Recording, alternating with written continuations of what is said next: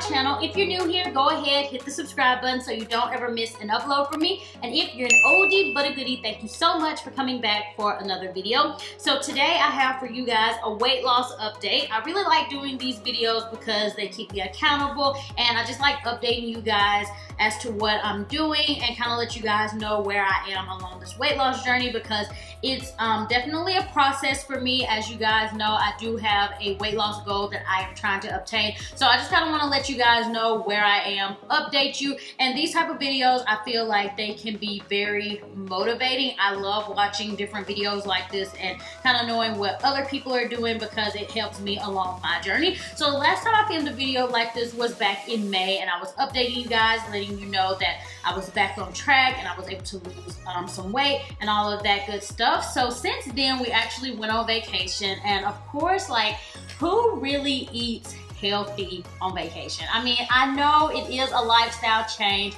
but when we went on vacation, I was just like, okay, I don't know, like I just wanted to indulge in some of my favorite foods, you know, not the, I mean, the good foods, not so good for the hips, good to the lips, but not good to the hips, okay? So I was eating pasta, Krispy Kreme donuts, which Krispy Kreme donuts are my favorite. Let me just tell you guys, I tried Dunkin' Donuts for the first time not too long ago and I was so disappointed. I'm like, who compares Dunkin' Donuts to Krispy Kreme? There's literally no comparison. No comparison at all. Them Dunkin' Donuts was so dry. I was like, really? Like, who eats these?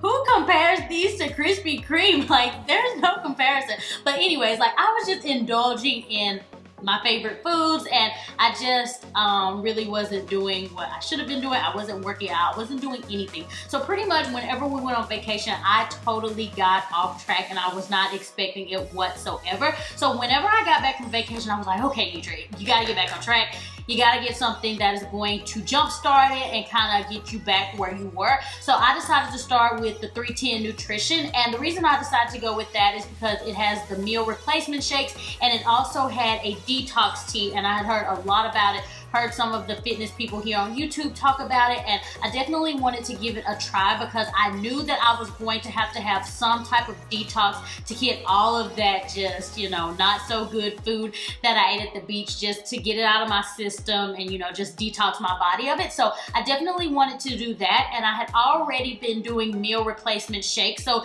that's something that I definitely wanted to continue doing.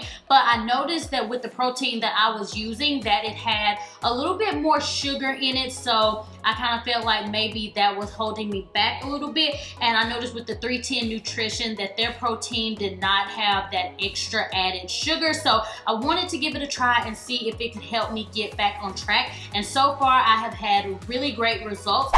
So 310 Nutrition has a starter kit that's going to be really great at helping you with your weight loss journey. And right now you can get it for 70% off. So what's included in this is a meal replacement shake and you get to choose between vanilla, chocolate, and salted caramel. You also get the lemonade mix, the superfood juices, teas. All of this is included for 70% off. So if you guys are interested, be sure to click the link in the description box. And right now you can get free shipping with anything anything over $50 whenever you use my code.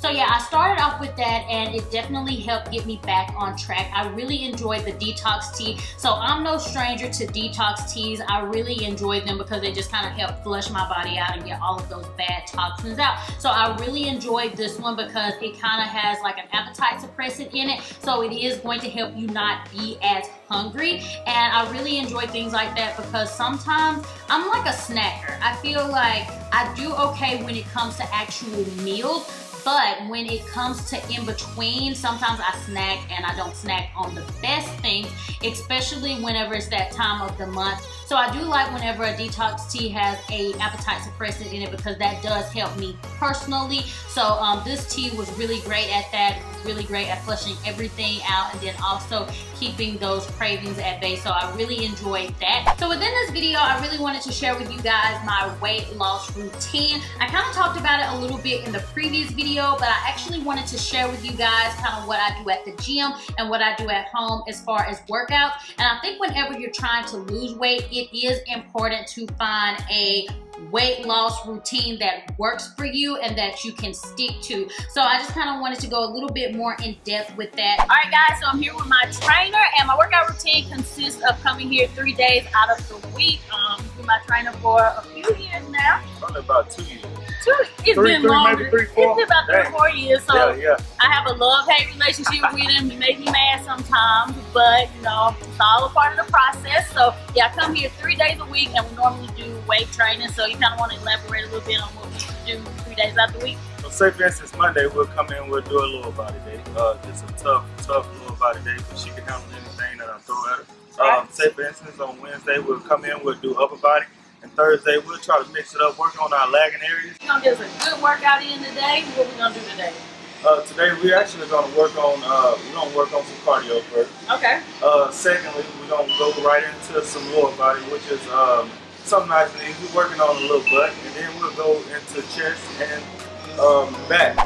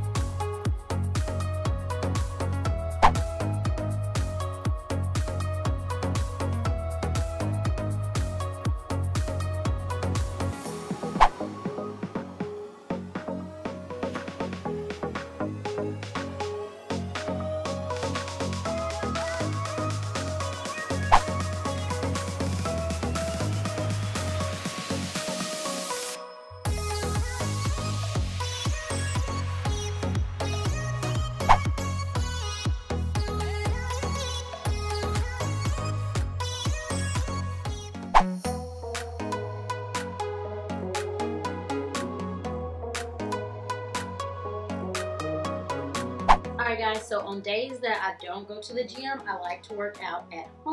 So this is my little workout space. It's not completely finished, but I've kind of built a little gym down here and I've really been enjoying it. So normally what I like to do down here is cardio because we don't really do a lot of cardio at the gym. We like to focus more on um, weightlifting. So I try to get my cardio in at home. So normally what I like to do is some type of exercise on the treadmill, even if it's just like some type of HIIT exercise, like going hard for a minute and then resting for a minute. Or I like to do different exercises like squats, jumping jacks. But what I really, really enjoy is getting on my Peloton bike because I can literally knock out 20 minutes of cardio really quick. And sometimes I'll do a little bit more, but I always focus on trying to do at least 20 minutes of cardio. So I'm gonna go ahead and start like a normal workout on my Peloton bike, kind of show you guys what that consists of. So I'm gonna go ahead and get started with that.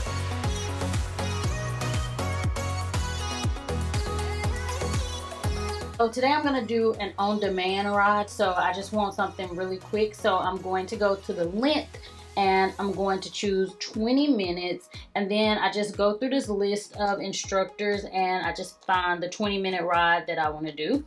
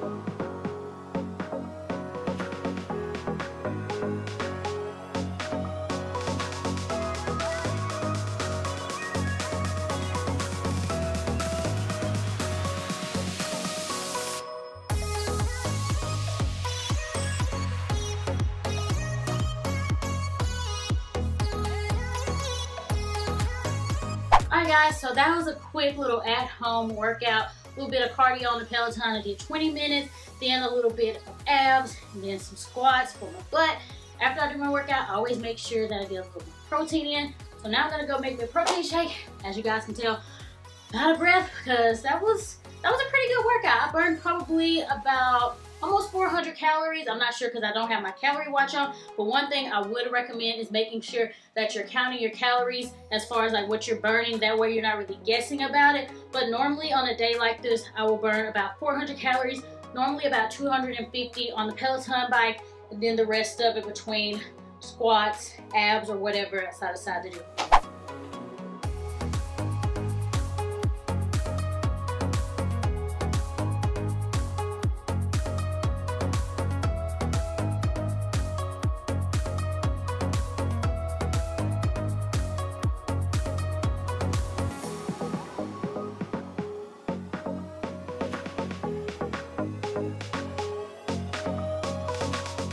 So yeah, that was just a little bit more in depth as to what I'm doing whenever I work out at the gym and what I'm doing whenever I work out at home. Of course, those workouts can definitely change, but that's pretty much the gist of it. Just kind of wanted to give you guys an overall idea. So now I want to give you guys a few tips of things that have worked for me during the course of this weight loss journey because you guys know it has definitely been a journey for me from losing the weight to getting pregnant to keeping the weight off because that is most important. I feel like um, a lot of the times we're able to lose weight, but it's keeping the weight off that is important. So I just kind of wanted to share a few tips with you guys. I mean, of course, I'm not a professional. You guys know that this is a struggle for me. I haven't gotten down to my weight loss goal of 130, but I have been able to keep the majority of the weight that I lost from the beginning off. So I kind of wanted to let you guys know how I've been able to do that and just kind of give you guys a few tips as to what has helped me. So the first tip I want to give you guys guys is to drink more water. And I know you guys are probably like, really? Like, we know this. Like, everybody tells us this. But people really do underestimate the power of water. Water can definitely help you whenever you are trying to reach your weight loss goals. So I don't know if you guys know it or not, but one gallon of water can burn an additional 200 calories which if you're on a weight loss journey, you know how hard you have to work to burn 200 calories. Like you gotta do a whole bunch to burn that. So if you can burn an additional 200 calories by just drinking water, then drink the gallon of water. So the next tip I would give you guys is find something that you like to do as far as working out and getting yourself up and moving because that's going to be important. I feel like personally, for me, I have to do some type of working out to be able to lose weight. A lot of people, they can do it simply by eating less, but I don't know, for me, I have to have that extra bit of calorie burn from working out. So I think it's important to find something that you enjoy doing. Like not everybody likes going to the gym and lifting weights. Not everybody likes getting on a bicycle kind of like me, but just find something that you like. Um, I remember whenever I tried to lose weight, like way back when, like a long time ago, I tried to do Insanity. Y'all, I hated it so bad. I hated it. But I tried every day to like get up and do it and I just stopped. Like it would be, I wouldn't even make it a week because is just something that I did not like. So once I actually found something that I enjoyed doing, it was a little bit easier for me. I know a lot of people kind of like to do Zumba and different things like that. So if that's something that you enjoy doing, then do it. Just find something that you like to do and that's gonna kind of get you up and moving and make you burn a little bit more calories. So another thing that I would recommend is keeping up with your calorie count and then also creating a calorie deficit. So um, I don't really keep up with my calories as much as I used to, but whenever I originally lost the 25 pounds, I kept up with my calories big, big time. And um, I used an app, I think it was called My Fitness Pal, and it helped me keep up with my calories, um, like what amount of calories was in what I was eating. And that definitely helped me. I do feel like I kind of need to get back on that, and that will help me be able to lose the remainder of this weight. And then also you wanna make sure that you're creating a calorie deficit. And if you guys aren't really familiar with that, you might want to do your research on it. I'm gonna kind of explain it as best as I can. Pretty much a calorie deficit is consuming fewer calories than what you normally consume. So um, there's 3,500 calories in one pound of fat. So if you wanna lose one pound a week, you need to create a deficit of 500 calories a day. So you can burn 250 calories whenever you're working out and then you can eat 250 calories less than what you normally eat and by the end of the week you should be able to lose one pound. And one way that I like to keep up with how many calories I'm losing during a workout is by using my polar watch. So um, I used to Snapchat this all the time but it's just a watch that I would wear whenever I work out. I still wear it actually but you put the heart um, rate band around wear the watch tells you how many calories you're burning during a workout. So for me personally, I try to burn 500 calories whenever I'm working out. That way I am creating that de deficit.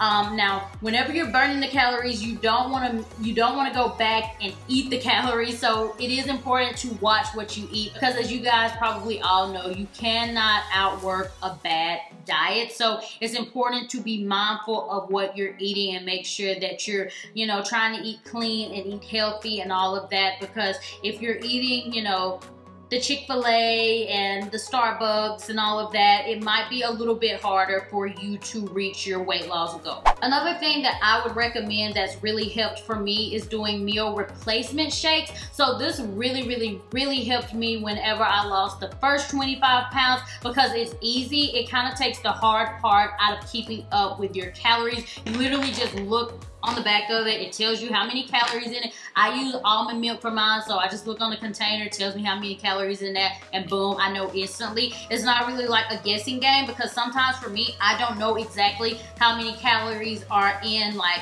um, the olive oil maybe that I put in the pan or the chicken that I'm gonna eat, all of that. So it's a little bit more of a guessing game. But when you do this, you kind of have a better idea of how many calories you're actually consuming. And it's just really easy, especially if you're a person who's on the go. It's really easy to fit into your lifestyle. And um, I just feel like it helps me because I know that I'm not consuming all those extra calories. So what I've been doing here recently is just doing it a few days out of the week. Whenever I lost the first 25 pounds, I was literally doing it five days a week and I just didn't do it on the weekends. So here recently I've been doing it three days and I might bump it up to five days again just to kind of help me get down to my weight loss goal. But um, yeah, I feel like doing um, meal replacement shakes just really helps. And if you kind of feel like the um, protein shake that you're using, the protein mix, is not really getting you where you want to, you might want to kind of check nutrition facts and make sure that it doesn't have too much sugar and stuff like that. Um, I've really been enjoying this 310 shake because like I said, it doesn't have those additional sugars in it. So it's really kind of helped me get back on track. And I think I'm to bump it up just to kind of help me get to my goal a little bit faster. But um, yeah, that is one big, big tip that I like to give to everyone because I just feel like meal replacement shakes are super easy and you're getting the calories that you need. It's not like you're starving yourself. You are getting the calories and normally the protein shakes are really good. So you can mix different fruits in there. A lot of times I like to use a banana or something like that. When I use this in the morning, I just do the almond milk and the powder, that's it. For lunch, just to add a little bit more substance, I might put like a fruit mix in it. You can get those frozen fruits at like Walmart, or I might put a banana, something like that, just to kind of make it a little bit more, you know, filling and kind of um, stick to you a little bit more throughout the day so you can last till supper. But um, yeah, that's something that I think will definitely help you if you're trying to lose weight and you um, kind of want to cut down the calories. All right, guys, so that's pretty much everything for this weight loss video. In my next one, I will be back, do a weigh-in, and kind of let you guys know where I am. I knew for this video that if I did a weigh-in that it would be about the same as last time, which was 141. Really haven't gotten any lower, but I'm hoping by the end of August, whenever I come back, I can um, be a little bit lower on the scale. So I'm really excited to keep this up with you guys and just keep updating you guys and documenting this and just letting you guys know where I am as far as my weight loss journey because you guys know it's a struggle for me, but I'm not gonna give up. I'm gonna keep on trucking because I got weight loss goals, trying to get fit big, okay? Trying to look good. But if you guys are interested in checking out the 310 Nutrition, their starter kit right now, you can get it for 70% off and you can use my code to help with that. Um, you can get free shipping on orders over $50. So yeah, all of that will be in the description box if you guys are looking for some new things to try out to help you with your weight loss goal, I think you will definitely like these. So yeah, thank you guys so much for watching this video. I hope you enjoyed it. If you did, then be sure to give it a big thumbs up and I will talk to you all in the next video. Bye!